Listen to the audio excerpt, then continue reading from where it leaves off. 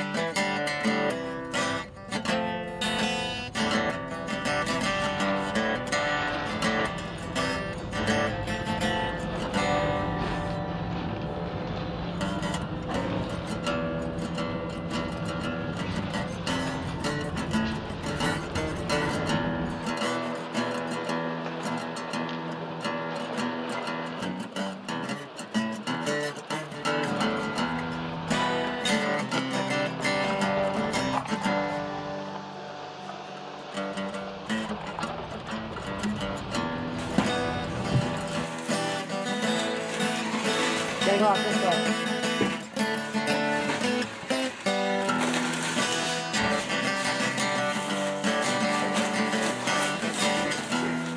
if I see you in here again, I'm calling cops.